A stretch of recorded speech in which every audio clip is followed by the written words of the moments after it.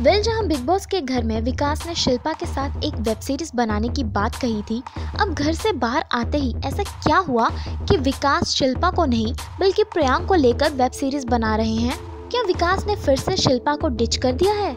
दरअसल, India forums को दिए एक इंटरव्यू में विकास ने बताया कि वो बहुत जल्द प्रियांक के साथ शूटिंग शुरू करने वाले हैं, और इसके लिए वो बहुत एक्साइटेड हैं, क्योंकि ये वेब सीरीज़ इंडिया की अब तक की सबसे बिगेस्ट वेब सीरीज़ में से एक होगी। In terms of the appeal technicality and everything और इस सीरीज़ का एक अपना ही स्टैंडर्ड होगा।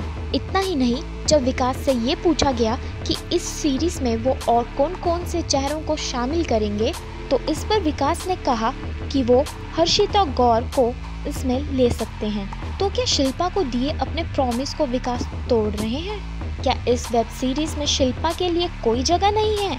तो आप ही बताइए, आपको क्या लगता है कि विकास ने शिल्पा को वेब सीरीज़ में ना लेकर सही किया? दीजिए अपनी राय नीचे कमेंट सेक्शन में।